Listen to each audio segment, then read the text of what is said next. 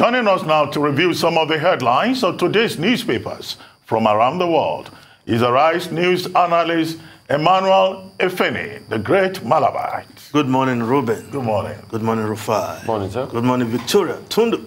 Mkwa Abiola. In all pink, all pink on a Monday morning. Now, let's start the review with ThisDay, Nigeria's newspaper of record. The lead story, Soludo in apparent victory in Anambra poll. Election to hold in Ihiala tomorrow. Yes, other newspapers are reporting this story.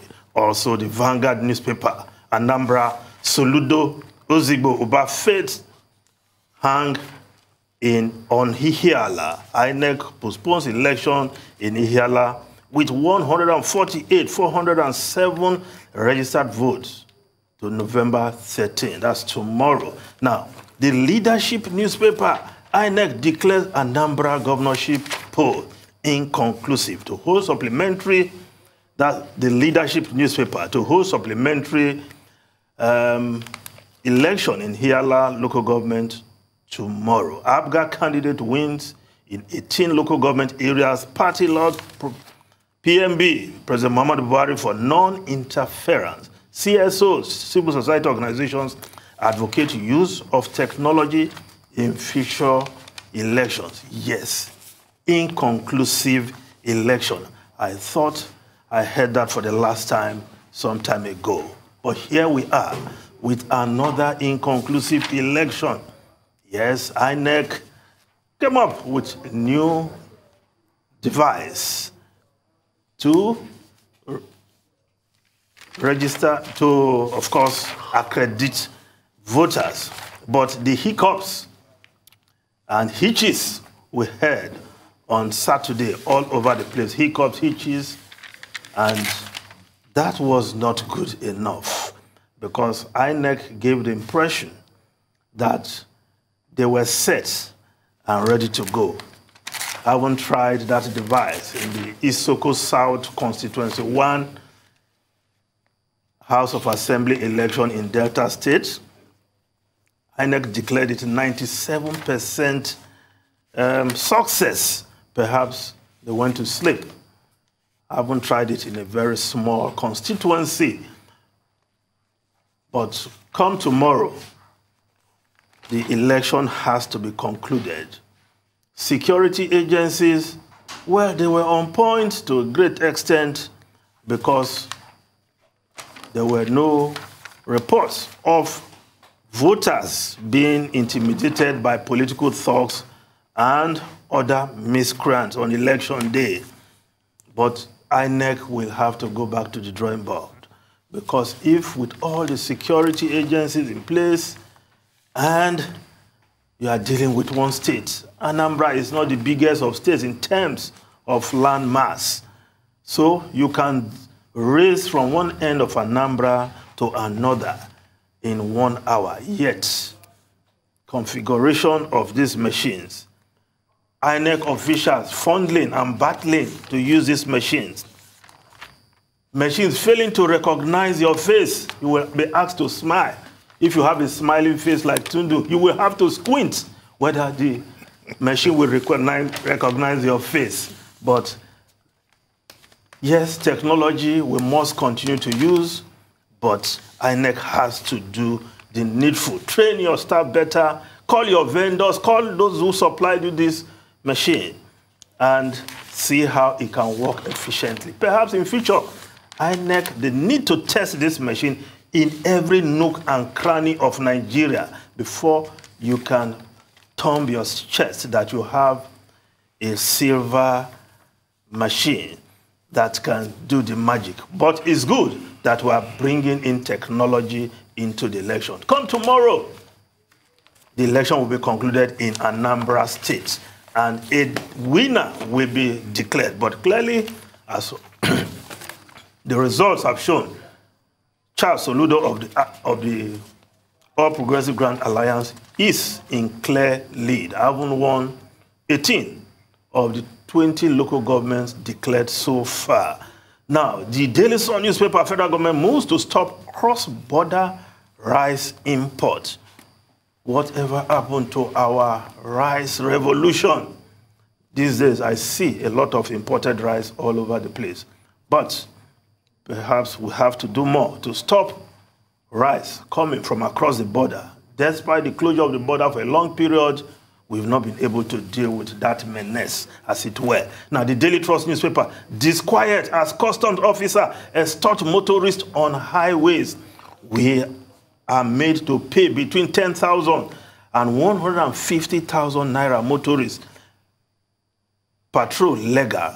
Show proof of extortion.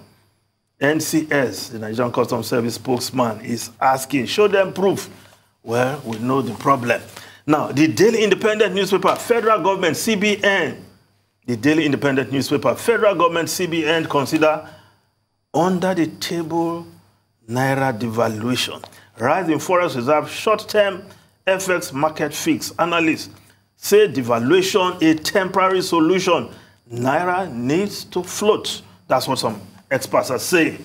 And if we just look at the Business Day newspaper, Business Day, Afrobeats pay Nigerian, Nigerian artists as the world listen. Yes, nearly 45 years ago, after Fela Kuti's debut Zombie, the album that gave the world a new music genre. According to Afro, yes, that music, that uh, album changed the beats as Fela used to know it. And today, the heirs, if you will, not necessarily his children, are reaping the benefit.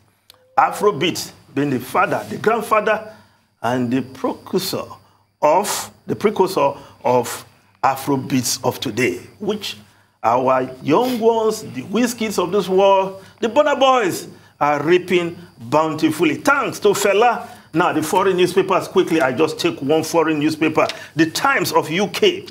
doctor set to be barred from jobs in richer areas. Plan will force GPs to work in deprived areas. Yes, GPs will be barred from taking new jobs in affluent areas to force them to work in deprived towns in the UK. Nationally, there is one full-time doctor to every 2,289 patients, a ratio that has been worsening over the years. In a place like Blackpool North, you have 4,480 doctors, no patients to one GP. That is not good enough to correct this system. Yes, a regulator will be tasked with restricting doctors where they can set up their practice to improve health in poorer communities. Reuben Rufai and Tundun, over to you. So inequality just exists everywhere, doesn't it? Does. it? And that's just really the point. And to the other story that you shared just now about rice. Yes, rice still coming in from across the border. What was the point of the border closure? I've asked for the uptime time. I'm asking once again. Have we ever seen a report on what actual effects it had? Well, it created some problems for we Nigeria know that for sure. and our neighbors. We know that for sure. It created more problems. Yes, and the Ghanaians are still not forgiving us because it blocked their goods from getting to as far as Nigeria and from traders from buying from Nigeria, taking to Ghana. In fact, the Beninois are worse off. So it, it prompted the Beninois to look inward into their economy and try to reduce that trade they will normally have with Nigeria. So he forced them to look inwards. And they're like, if these people can do this to us, then. But apart from that, what is most important for me in all of this is do we even learn lessons at all? I don't think we do. We think, we, we, we think, oh, shutting the border will spoil local production. Is that the case? Well, to make market for the local production. Because at that time, we're hearing of lake rice, abakaliki rice all over the place. And this imported rice coming to. Where is where is lake rice? Well, I've not seen it in a long while. even, in, even at the peak of that campaign, uh, I looked for it all over rice? the place. Anyway, if uh, I would have wanted your assessment of the uh, gubernatorial election in uh, Anambra, but we don't seem to have more time. Hopefully tomorrow we'll get a chance to talk about it again when the people of uh, Ihiala local government area uh, go to the polls. Well, thank you, Mr. Fanny. Yes.